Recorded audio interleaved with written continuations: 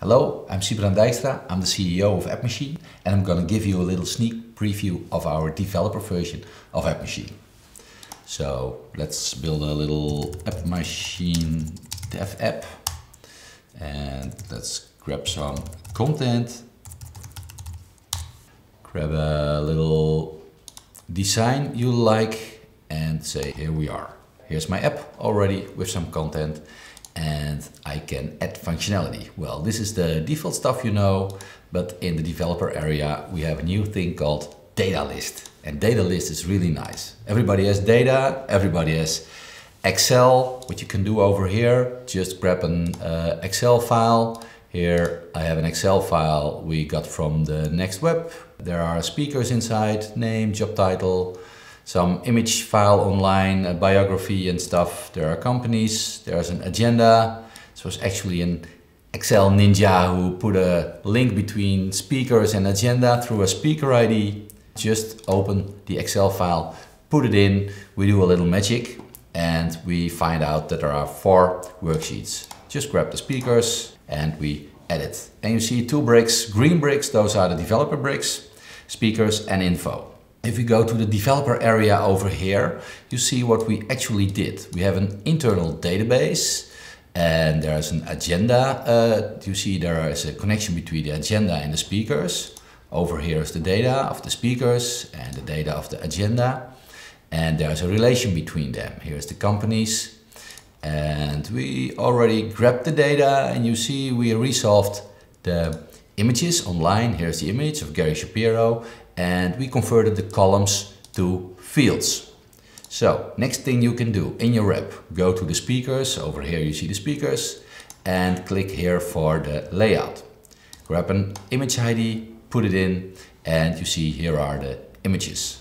Grab a name, grab a job title, and he has a Twitter. Well, I love the Twitter reference as well. Make the name a little bigger, 20 pixels, and make it bold. Here we go. You see designing is really fun with this version of AppMachine.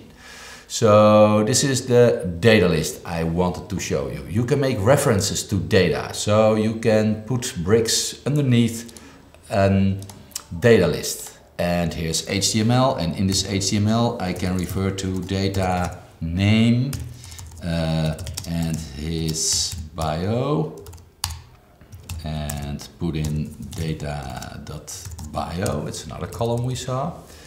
You can do the usual markup over here, so I can make the name bold and make it a little bigger, 24 pixels, center it on the screen, and here we go. And call it information. Now information is a sub, you see Gary Shapiro, it's a little bigger and his biography over here and I can browse through the speakers and this is uh, Kevin's information and here we have the data. So really nice playing with data. Another new thing we have uh, is the screen and with the screen you are able to build your own custom screens.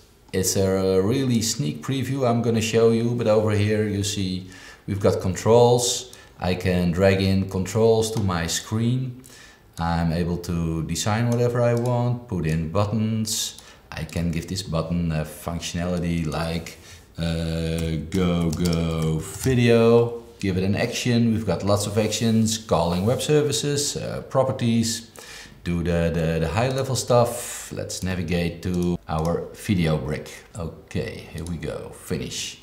And what I now built is a custom screen and uh, when I press the go go video, uh, I jump to the video brick over here in our app. So this is the visual stuff you can do. You can do more things. We, we can add service providers over here if you want to import uh, data from APIs that are uh, secured like Facebook or Salesforce or Twitter. You can add services over here. I have a feed from Armin van Buuren, his news. Let's call it Armin's News. Put in the URL over here. We have a look at the URL and we find, find the data that's inside the web service. We import the structure and we import the data. Here's the definition, the output parameters. There were no input parameters on this service. Here you see Armin's news channels and here's information from Armin. Well, in your database schema, there's a relation between the items and the channel. If you want, you can make a connection between the channel and the agenda. And just like you were used in the old days, we can make a link between language and description if you want. So you can make relations between data you get from web services and data you get from Excel. Another nice thing we have is the so-called custom JavaScript. I make a little jump to an other app. Here's a custom JavaScript app. And here's a brick called clock. And what you see over here is a clock ticking away. Uh, the real special thing is that we have an editor over here and here you see the source code of this ticking clock. And you're able to uh, browse through the JavaScript and the HTML over here. You can drag in new projects over here, make changes. Changes are live pushed to the, uh, to the bricks in your uh, phone. Our app is a web server and you can talk to the local web server from within your code. And we provide you with the internal database that's inside, so you don't have to worry about calling web services and Excel and stuff. We do the magic already for you.